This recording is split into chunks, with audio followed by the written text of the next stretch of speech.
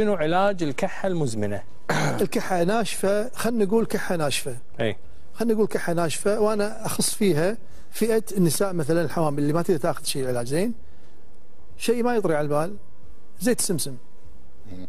كبشه وسط؟ من زيت السمسم مع ماي أو مع حليب. الصبح مرة وبالليل مرة. على مدى أسبوع وسلامتك. هذه قلت حق الحوامل.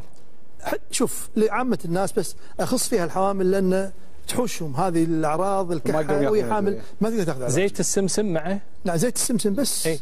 قفشة وسط. بروحه بس. مع ماي أو مع. حليب. تشرب. مرة الصبح ومره بالليل. هرده